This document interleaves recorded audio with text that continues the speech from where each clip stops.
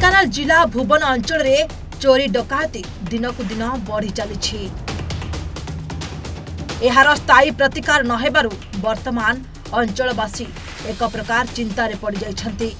ଗତକାଲି ବିଳମ୍ବିତ ରାତିରେ ୱାର୍ଡ ନମ୍ବର ଦୁଇ ଭୁବନ ମହିଳା ମହାବିଦ୍ୟାଳୟ ନିକଟ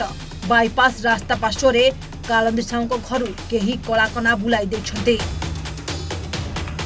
କାଳନ୍ଦୀ ସାହୁ ଗତକାଲି ପୁରୀ ବୁଲିବାକୁ ଯାଇଥିବା ବେଳେ ଏହାର ସୁଯୋଗ ନେଇ ঘরর পছপট ঝরকা ভাঙ্গি চোর ঘর ভিতরে পশিলে ঝরকা নিকটরে থিবা গডরেজর লকর ভাঙ্গি চারি ভরি সুনা সহ লক্ষাধিক টঙ্কা নেই পলাইথিবা সূচনা মিছে কিন্তু কালন্দীক পরিবার লোকমানে সেই ঘরর অন্য রুমরে শোইলে মধ্য চোরি সম্পর্কে জানিপারি নথিলে তেবে এ সম্পর্কে অভিযোগ পাই ভুবন পুলিশ ঘটনাস্থলের পৌঁছি তদন্ত জারি রাখিছে ଆମ ଘରେ ରାତି ଦୁଇଟା ଯାଏଁ ଆମେ ସବୁ ଚେଇଁକି ଥିଲୁ ତା'ପରେ ଦାଦା ପୁରୀ ଯାଇଛନ୍ତି ତା'ପରେ ଘର ସେ ବିଲ ପଟ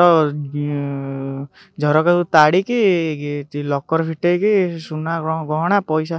ଦୁଇ ଲକ୍ଷ ଟଙ୍କା ସୁନା ଗହଣା ସବୁ ଚୋରି କରି ନେଇକି ଚୋରମାନେ ନେଇକି ଯାଇଛନ୍ତି ହାରି ରାତିରେ ଶୋଇଥିଲୁ ସମସ୍ତେ ରାତି ଦୁଇଟାରେ ମୋ ରୁମ୍ରେ ମୁଁ ଥିଲି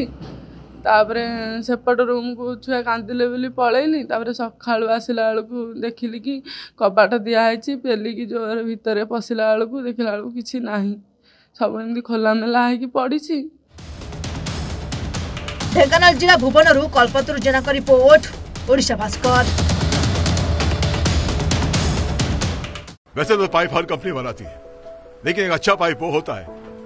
जो किफायती मजबूत और लॉन्ग लास्टिंग हो और पाइप की तरह गर्मी में आपको धोखा नहीं देगा पाइप हो तो Max Tex plus maximum technology minimum price Max Tex plus pipes and fittings